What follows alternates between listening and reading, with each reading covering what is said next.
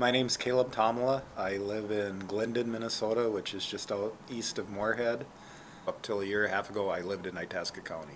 I worked for the paper mill in Grand Rapids for 14 years, and the paper industry is one of the things being affected by all of this. You know, the trees not growing back as fast, you know, with our ash trees dying because we don't have the cold winter days to kill off those ash borers anymore.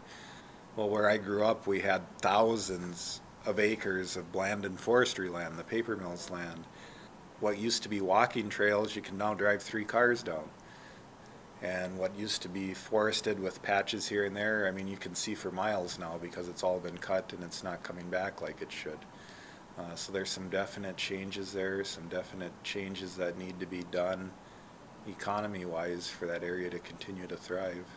Yeah, the biggest change for me was I mean, I try to stay up on world events. So worldwide, I realized things were changing. United States wide, I realized things were changing.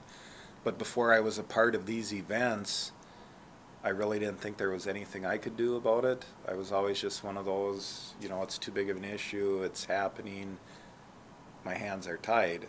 Where from these events, I realized that there are things we can do. Even me personally, my community, uh, it's not just a global, I mean, it is a global issue, but there are community, individual issues too that can be dealt with. You know, so many of the things we talk about, yeah, we can do something about. We can drive less, we can do this, we can do that, we can LED bulbs.